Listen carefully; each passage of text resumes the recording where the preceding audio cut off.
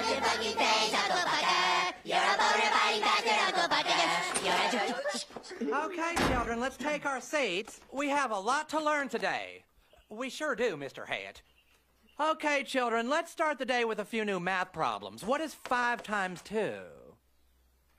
Come on, children, don't be shy. Just give it your best shot. Yes, Clyde. Twelve? Okay, now let's try to get an answer from someone who's not a complete retard. Anyone? Come on, don't be shy. I think I know the answer, Mr. Garrison. Shut up, fat boy. Hey, don't call me fat, you fucking Jew. Eric, did you just say the F word?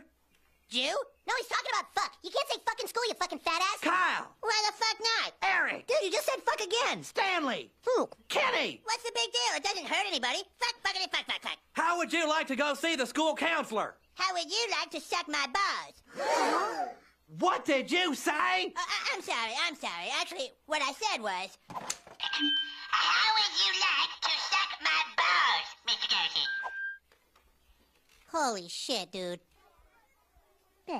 Well, I must say I'm very disappointed in you boys, okay? You should be ashamed of yourselves. Now, I've already called in your mothers, You but... called my mom?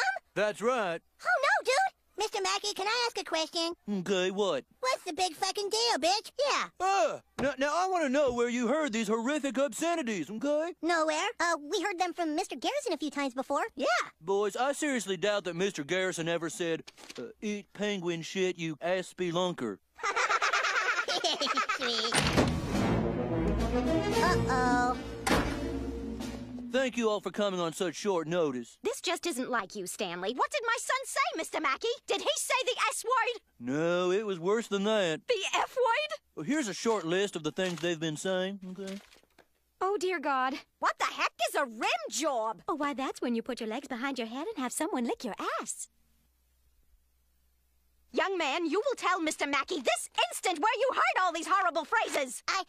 I... We can't tell you. We all took a sacred oath and swore ourselves to secrecy. It was the Terrance and Phillip movie. Dude! What? Fuck you guys. I want to get out of here. Terrance and Phillip? those Canadians? Uh, excuse me, what the heck is Terrance and Phillip? Terrance and Phillip are two very untalented actors from Canada. Nothing but foul language and toilet humor. Well, I guess I'll have to send a warning letter out to parents before more children see Terrance and Phillip. Everybody's fucking seen it. Eric! I'm sorry, I can't help myself. That movie has warped my fragile little mind. My mind.